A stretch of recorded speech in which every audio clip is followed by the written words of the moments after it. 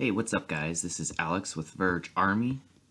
Today I'm going to show you how to make a Verge paper wallet. And then I'm going to show you how to import your paper wallet into your Verge Core wallet.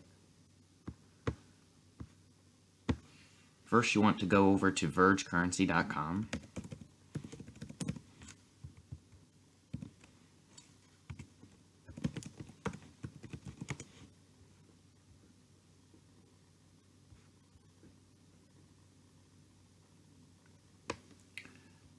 Then scroll all the way down to the Wallets section. Click on Other. Then you'll see Verge Paper Wallet. Go ahead and click on that. And that's going to redirect you to the Verge Paper Wallet website here. Okay?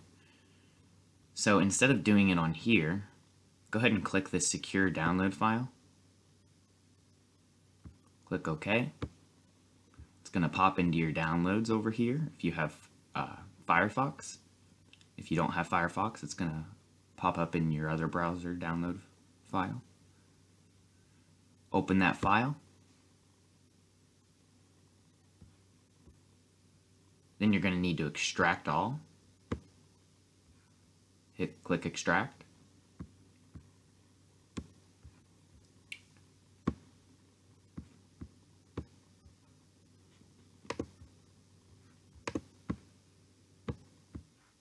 Then go ahead and go into airplane mode on your computer. This is going to protect you from getting hacked.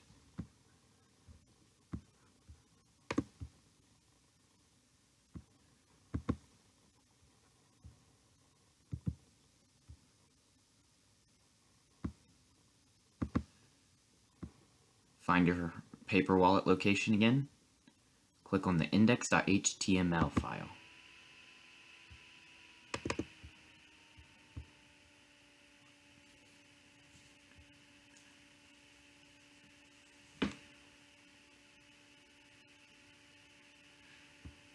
Going to see here, as you move your mouse around, it's going to generate the random numbers. You can also type into here.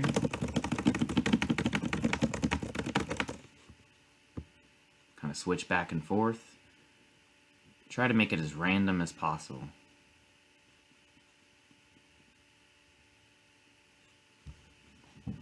You can see the basic security checklists that we're running from the generator. That's good. The browser is capable of generating cryptographically random keys. Okay. So we can see here step one, you calibrate your printer. Step two, you print your front, you print your back, and you cut, fold, uh, seal, and fund. So go over to calibrate your printer. You can see here it says horizontal shift. The distance from left to right sides of this image to the edge of the page should be equal. So these distances should be equal. Make sure none of the image is cut off. Okay you should see a black border on all four sides. You can see the black border here. Okay. Also, if you fold the paper in half, the crease should fall on the dotted line right here. Okay. So you're going to want to print the calibration test. You have to make sure that you put this in landscape mode. So put this in properties, click on landscape, and click OK. Click OK to print. Okay going to print it. Uh, my printer's offline. I'm not going to show you that, but go ahead and check that. Then you can see here, this is the wallet that you generated. Here's your public key right here, the QR code, and the numbers and letters here. This is your address for your public address. This is where you are going to send coins to. Okay? And you can see here is your private address. Okay, go ahead and copy that private address.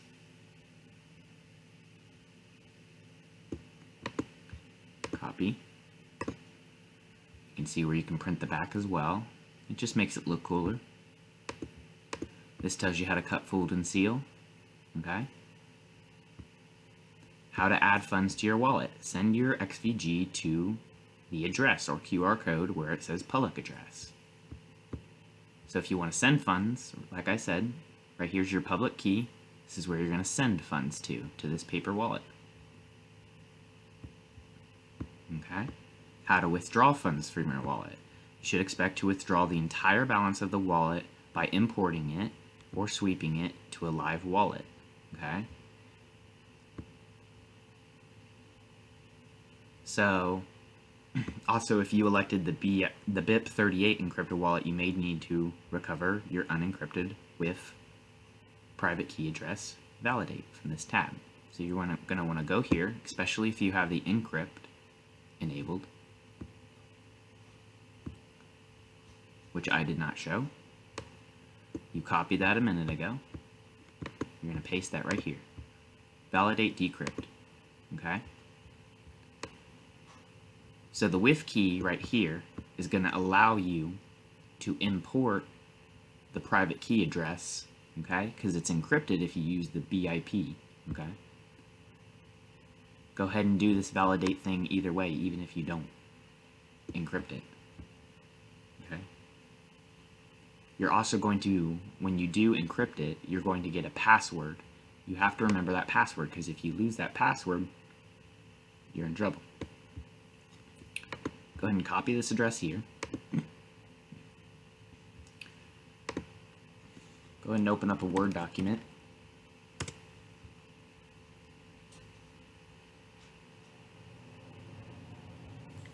You should always test your wallet and send some money before you put all the rest of your money in, so we're going to do that. Type in public, private. Paste the private address here. Go back to your wallet, your paper wallet and here's your public address. It's the same one that's on the photo, okay?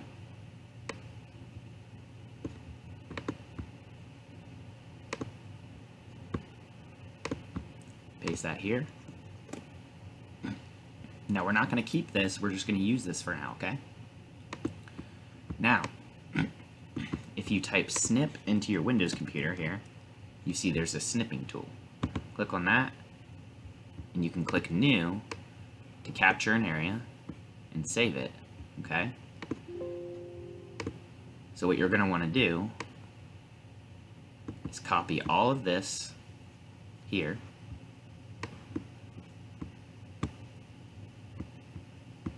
and you're going to want to copy this here and you're going to want to store these in a USB drive or some other secure place. So close that out Let's close that out.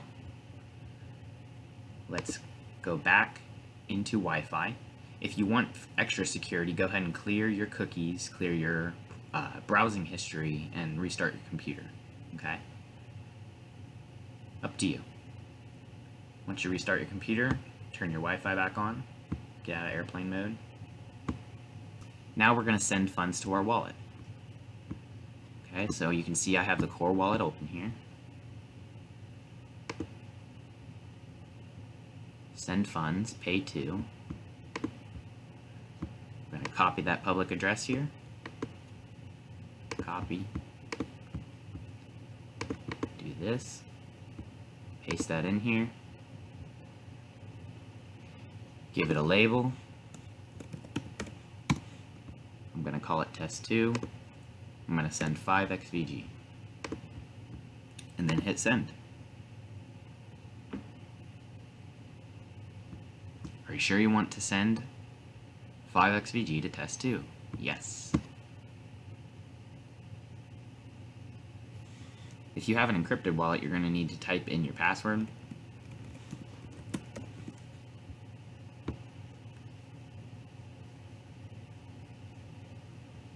Confirm the transaction fee of 0.10 xvg? Yes.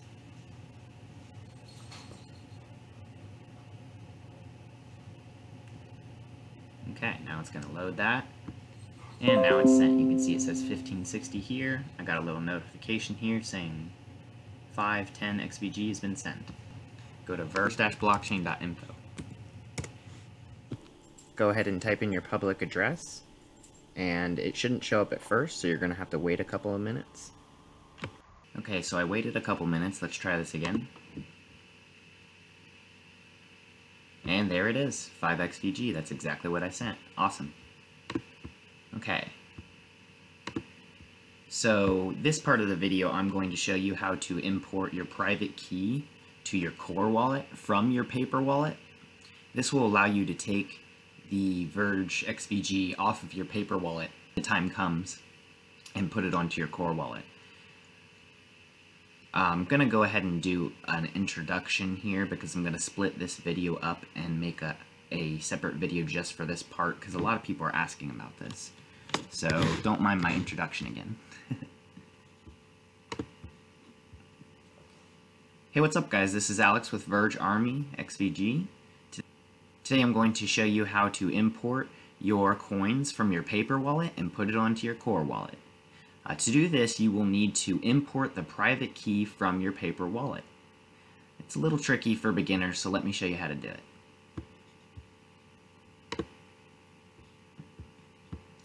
First, a good idea would be to go ahead and go to verge-blockchain.info and type in your public address of your wallet here to confirm your coins are in fact in the paper wallet. Click search here and you should see how your amount of coins. I did 5 coins in this paper wallet in order to test it. Then you're going to want to go over to your core wallet here. Go to the debug window. Click on console. Now the instructions I'm about to give you are for an encrypted wallet. So if you're unsure that you'll be able to do this correctly with a wallet that is not encrypted, just go ahead and encrypt your wallet real quick so that way you can do it exactly how I do it. Um, but it's, it's real easy either way. If you have an Android Tor wallet, you can use the QR code to sweep the private key instead. Okay, so you can use this QR code right here. Make sure it's the WIF. Okay, that's the private key. Let me show you the help command here. This is where you're going to find a list of commands that you can use in the wallet.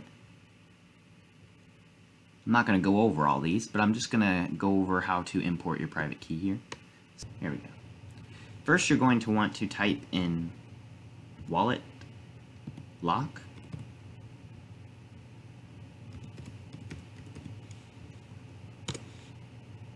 Next, you're going to want to get your wallet out of minting mode. And again, this is for encrypted wallets. Go ahead and type in wallet pass phrase, P-A-S-S, P-H-R-A-S-E, hit space, type in your passphrase, buy more Verge. This is a temporary password here, so space, type in 600, hit enter. Next, you want to type in import priv, P-R-I-V, key. Hit space. Go over to your private WIF key. If you don't know what the private WIF key is, you need to watch my video on how to make a Verge paper wallet.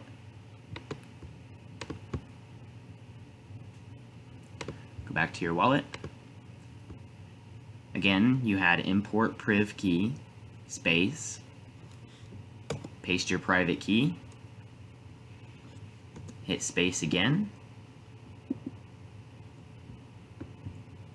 and now we're going to type a label that we want this to show up as. Let's name this bananas.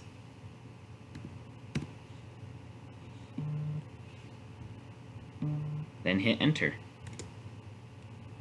The last step is to lock the wallet again. So type in wallet lock and hit enter.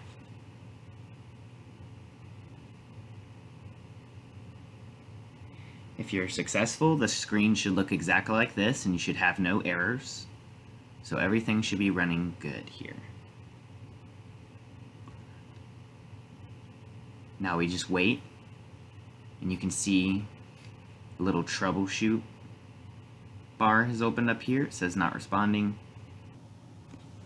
Okay, so it looks like both times that I've tested this wallet, after I typed in that final wallet lock code and hit enter, the wallet appears to stay in that frozen mode, so I went ahead and closed it out. I tested this a couple times, and it seems like they just need to change the code in here to where it will close the application. So you're going to want to go ahead and, I would just wait maybe 30 seconds, a minute, and go ahead and close that application and then reopen it. The wallet needs to reload the block index. So like I said, go ahead and close the application and then reopen it. And as you can see here, I have 20.60 XVG. So it did go through here. And then going through to recent transactions, we can see bananas right here. So the funds from the paper wallet are on the core wallet now. So that's how you import private keys into the core wallet. Alright, thanks for watching. Go ahead and leave a comment in the comments below. I do love to hear from the community. Check us out on Facebook at Verge Army XVG. Check me out on Twitter and my Telegram channel. Also, if you would like to help support my volunteer work, go ahead and donate some XVG to my address posted below. Every little bit counts, I really appreciate it. If you liked my video, be sure to subscribe. Thanks for watching.